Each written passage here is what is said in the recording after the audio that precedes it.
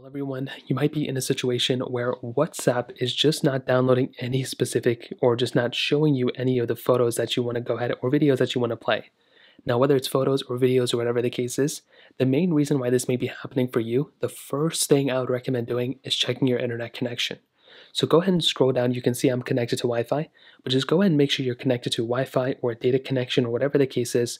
You can make your way over to like apple.com or like WhatsApp online or just search up anything on Google or YouTube and just go ahead and see if anything else is loading on your device too.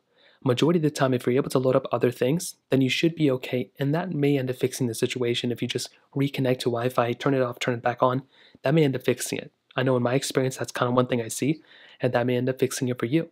Now, let's say you try that and that is not actually working. Well, the next thing I'd recommend doing is going into your App Store, just like how I went into my App Store here, search up WhatsApp. So go and click here, search up WhatsApp just like so. And what you want to do is just go ahead and make sure that you can go ahead and see the latest version of WhatsApp and go ahead and update this specific version of your you know, application. This may end up fixing the situation too. I know personally I've been in tons of situations like this, so updating the application will probably end up fixing it for you as well. Now, another thing I'd recommend doing in this specific example is going through and pretty much seeing if you can go ahead and see the storage within your device. If you're able to see your storage, just go and click on general on iPhones, click on iPhone storage, find the storage panel of your device and make sure you're not almost running out of storage.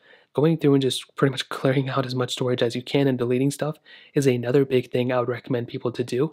And finally, if none of this stuff is working, the final thing I'd recommend doing is going to a website like downdetector.com just like so, and seeing if WhatsApp is on this specific page. If WhatsApp is on here, then chances are, if it's like the top two or top three, then chances are WhatsApp is down, and you're pretty much going to have to wait until they fix that situation. So those are pretty much the main ways to do it. If TikTok is or WhatsApp is down, there's not much you can do. Just wait until they pretty much fix the servers. So that pretty much covers it up. If you have any other thoughts or questions, let me know in the comment section below.